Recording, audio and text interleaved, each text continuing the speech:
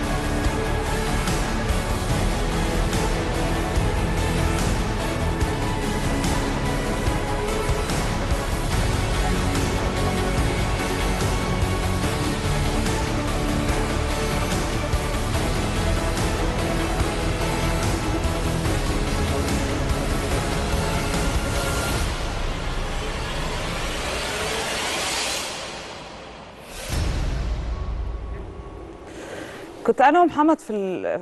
يعني وإحنا بنتفرج على التقرير كنت بقول له أنت عارف إن ما فيش تقريبا صحيح. دولة تانية آه، في العالم آه، ده حسب معلوماتي يعني إن في حاجة اسمها إن يبقى في لجان كده كل شوية يسألك عن الرخصة فقلت له يمكن يعني أنا هو برضو بنتناقش بقول له يمكن علشان ال- الدول التانية يعني الناس ماشية مظبوط أو بيفترض منها إنها و- بتلتزم بالقوانين لكن فكرة إنك تبقى ماشي في شارع كده في أي بلد وبعدين حد يقول لك الرخص دي آه، إلى حد ما مش موجودة إلا لو في بقى أعتقد اشتباه.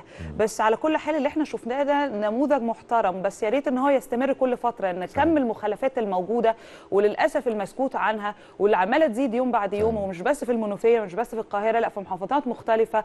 والموضوع اللي أصبح بعد كده كأنك بتفرض على القانون أمر واقع. صحيح. فالحملات اللي من النوع ده إلى حد ما بت- بتلزم المواطن المصري وبتعرفه إن في حاجة اسمها رقابة وبتعرفه إن في حاجة اسمها غصب عنك أنت. للأسف هنا خلينا. نستعمل هذا المصطلح بس غصب عنك هتلتزم وهتحترم القانون. لأن في ناس ما بيفرقش معاها أي قانون فالحملات اللي زي كده لا بتجبرك إن أنت تحترم القانون. فعلى كل حال نتمنى بس يكون في آه، استمرارية لأن الحاجات دي أو الحملات اللي من النوع ده بتكون مهمة جدا.